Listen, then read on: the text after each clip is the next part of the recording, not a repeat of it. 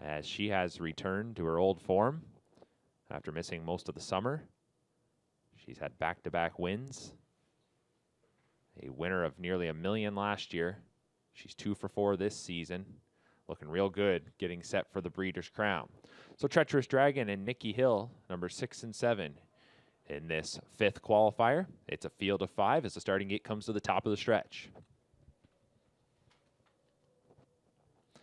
Gate picking up speed for qualifier number five. Here they come.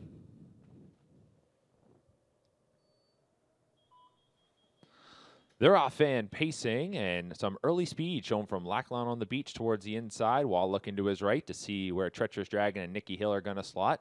So everybody's going to figure this out here in the opening eighth, while meanwhile, watching from fourth is Mystifying, and then Cote d'Azur is in fifth. So Nikki Hill is pushing on towards the lead.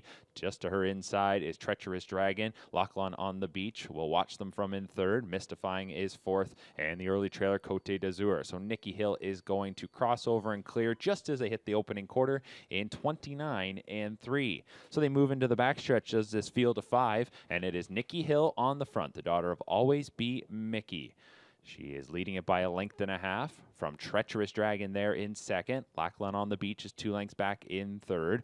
Fourth is Mystifying, and fifth is Cote d'Azur. That's how they're lined up. There'll be no change in order here in the second quarter. Coming towards the half, off stride in third went Lachlan on the beach. Waugh got that one to the outside immediately. The half was hit in 58 and 1. Heading into the final bend now, the leader remains Nikki Hill. Treacherous Dragon will just continue to follow. Four lengths then back to Mystifying, who inherited third. Then it's Cote d'Azur in fourth, and Lachlan on the beach after that break is the trailer. So it's Nikki Hill kicking it up into full gear now. Treacherous Dragon just a little over a length and a half behind her. These two 1 2 as they come to three quarters, going a strong third quarter here because they're past that station in 125 and 2. So they went 27 and 1 in the third split, off the turn and into the stretch. It is Nikki Hill, Treacherous Dragon behind her, then back to Mystifying, Cote d'Azur, and Lachlan on the beach is last. Final eighth of the mile, Nikki Hill, Treacherous Dragon will try to push here. She's trying to get to the wheel. Nikki Hill and Treacherous Dragon, these two are going to be side by side as they come down to the wire. Treacherous Dragon on the outside trying to reach up, and Treacherous Dragon will get it.